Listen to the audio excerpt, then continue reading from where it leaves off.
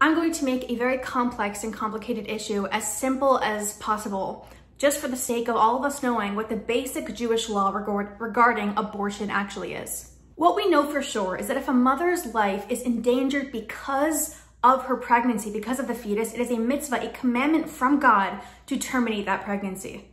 Once the baby's head emerges from the vaginal canal, it is considered an independent life, and anyone who takes the life of that child is considered in Torah law to have committed murder. What about rape and incest? Well, the Torah doesn't actually mention these contexts, but our rabbis know that the Torah recognizes that trauma, psychiatric trauma, is real and can lead to a person taking their own life or their life being threatened.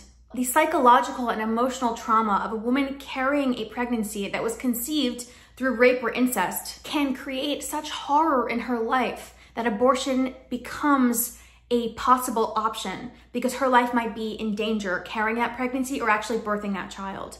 What about a fetus that will one day, God forbid, chas v'shalom, become a child that will suffer or pass away young because of genetic abnormalities or diseases? For example, Tay-Sachs disease, which is horrible and the most tragic thing I've ever heard of, where a child will almost always pass away from ages three to six, I believe.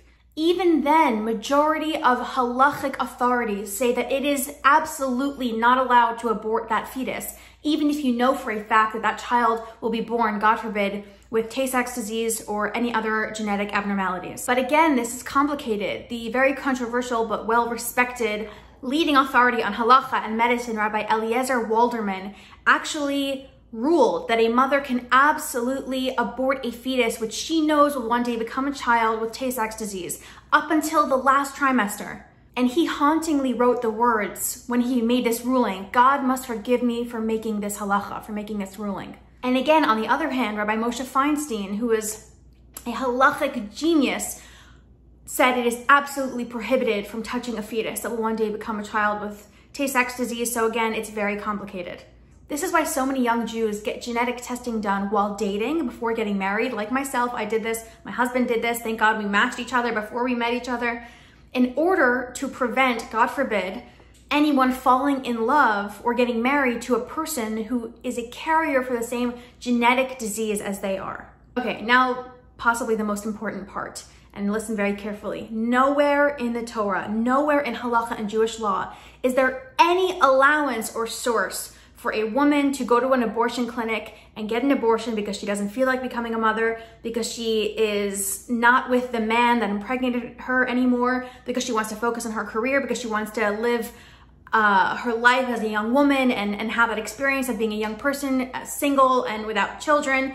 That is absolutely not allowed anywhere in Judaism. I'm seeing so many women online saying women have the right to choose, women have the right to have a choice about being a mother. And my response to that is adult women almost always know that if they are sexually active, there is a chance that they will get pregnant.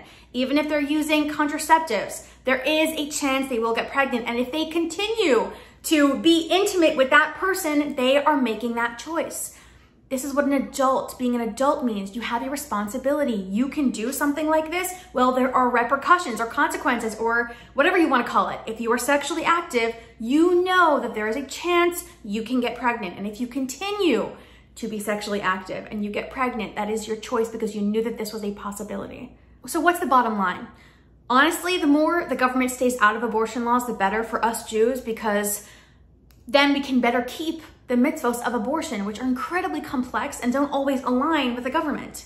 On the other hand, in my opinion, the way that abortion is becoming something so taken so lightly, like going into a grocery store and buying something, um, in my opinion, is reflective of an inner moral rot in our society, in our culture, in our in, and in our world.